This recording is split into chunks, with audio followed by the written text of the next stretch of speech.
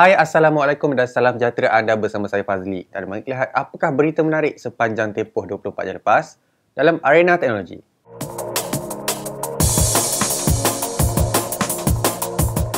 Samsung bakal melancarkan ciri pintar terbaru mereka iaitu Remote Access.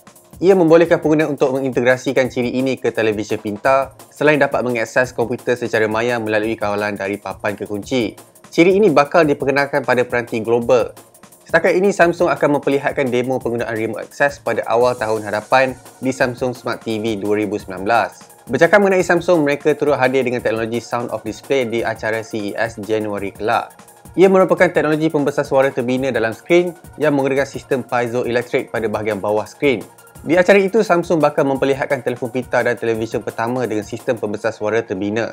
Berkemungkinan besar Samsung Galaxy S10 merupakan keluaran pertama Samsung yang menggunakan teknologi terbaru ini. Siri Xiaomi Mi 8 kini telah mula menerima kemaskini MIUI 10 berasaskan Android Pie. Dalam kemaskini ini, ia hadir dengan sokongan rakaman bergerak perlahan 960fps serta night mode untuk menangkap gambar di waktu malam atau suasana kurang cahaya dengan kualiti yang lebih baik. Namun kemaskini bakal hadir secara berperingkat untuk pengguna telefon pintar Xiaomi yang lain. Akhir sekali, Instagram melaporkan mereka bakal mengembalikan bentuk paparan menata ke bawah. Sebelum ini, mereka melaporkan terdapat masalah perpinjak pada aplikasi yang telah mengaktifkan ciri tab ke kiri dan kanan untuk melihat gambar.